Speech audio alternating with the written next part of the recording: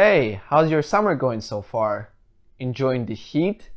Anyway, I've got some really cool, nice, informative news for you.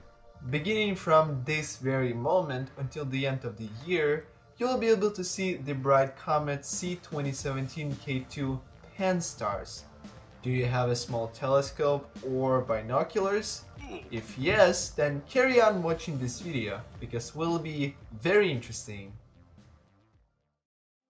The comet was discovered back in May 2017 at an enormous distance of 16 astronomical units using a telescope located in Hawaii.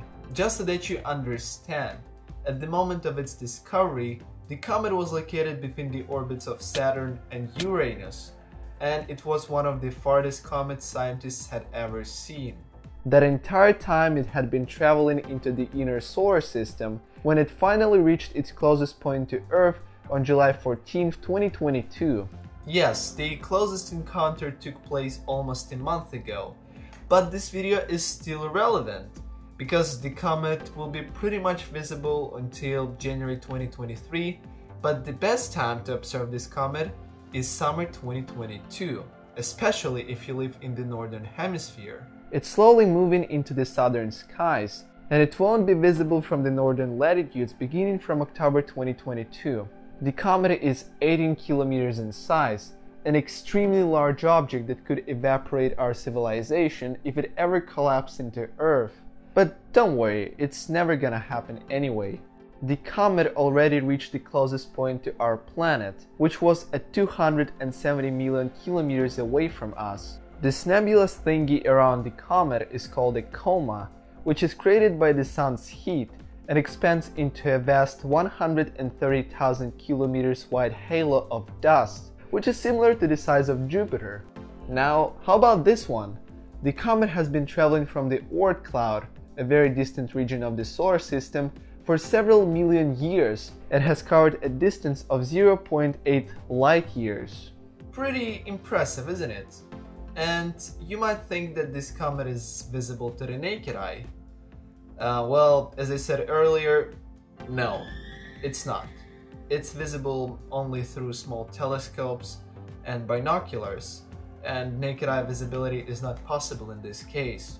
It'll remain at the same brightness for the next 6 months, but it will be visible in the northern hemisphere only until mid-September. Afterwards, it will keep slowly moving into the southern hemisphere sky.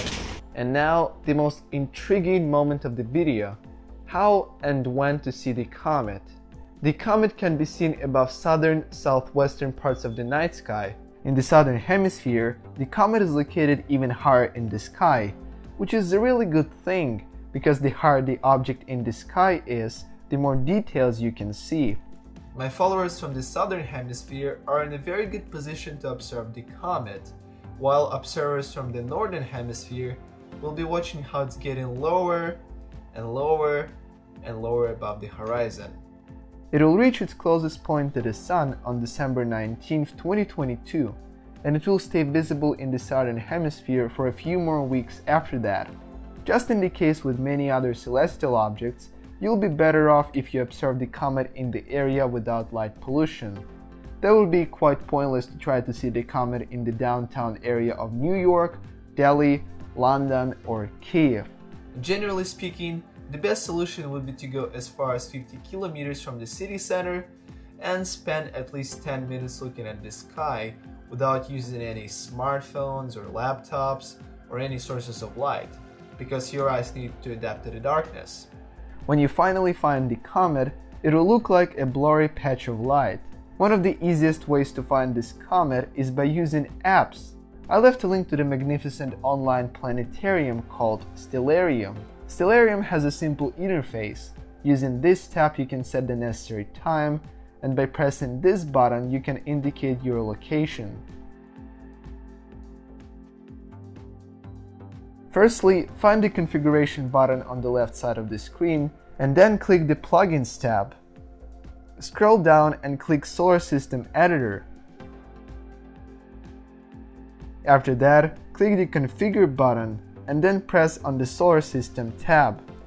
Click the Import Orbital Elements in MPC format and click the Lists tab. Here you need to select Comets. Press on Select a bookmark and then click the first option. Click the Get Orbital Elements button and now you need to type the name of the comet.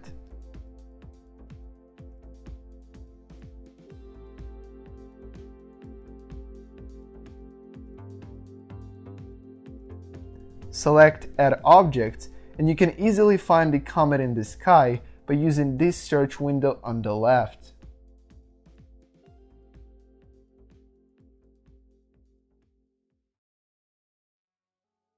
Once you manage to capture pictures of this comet, do not forget to join our Discord server where you can share these stunning images with other astrophotographers.